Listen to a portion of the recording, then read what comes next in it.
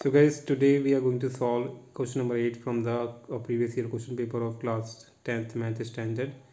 8 कह रहा है हमारा कि sec square theta minus one multiply cos cosec square theta minus one is equal to क्या होगा? तो यहाँ फोर वैल्यूज़ दे रखी है minus one one zero two तो उसकी वैल्यू निकालनी होगी मैं तो क्या दे रखा है? sec square theta minus one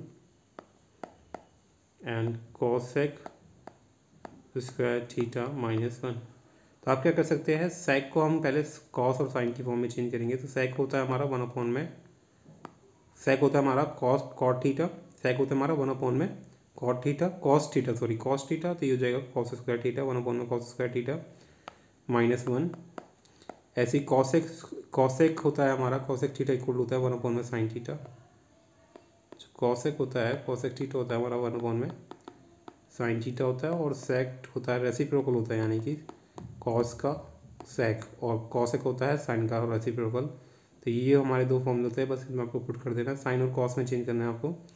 और ये हो जाएगा हमारा वन अपॉन में sine square theta minus one तो आप इसे सॉल्व कर सकते हैं one minus cos square theta upon में।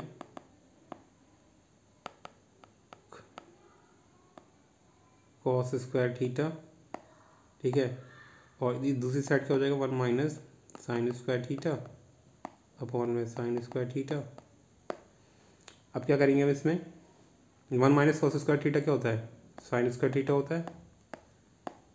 और नीचे आ जाएगा cos square theta one minus one minus sine square theta क्या होता है? कॉस स्क्वायर थीटा होता है।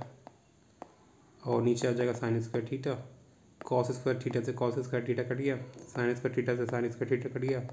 आंसर क्या आ गया? वन यानी कि इसका आंसर क्या होगा? वन। तो इस बार इसने सही लगाया option so hope you like it guys and thanks for watching bye bye and see the next video for the next question